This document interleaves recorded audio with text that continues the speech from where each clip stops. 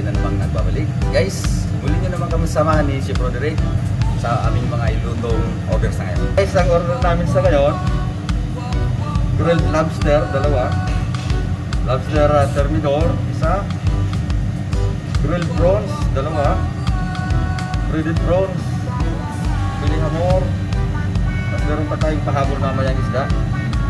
Mamaya pa natin malalaman kung Guys, ito na yung uh, grilled uh, lobster.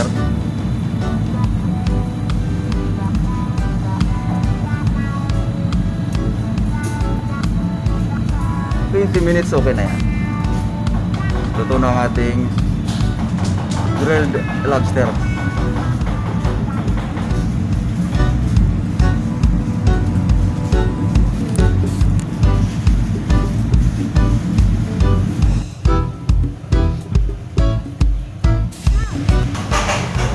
naman yung ating isda na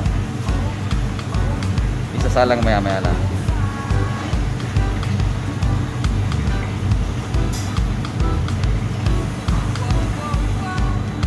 Marinated na siya.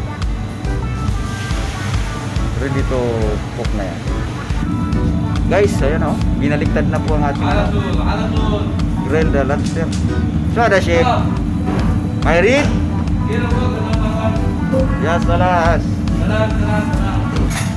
Kaya guys, itinabi na namin yung shari. Grilled shari at saka grilled lobster.